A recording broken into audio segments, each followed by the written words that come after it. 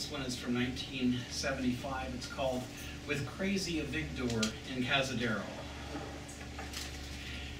The chains with which we tie our minds are all grounded in the reality we share.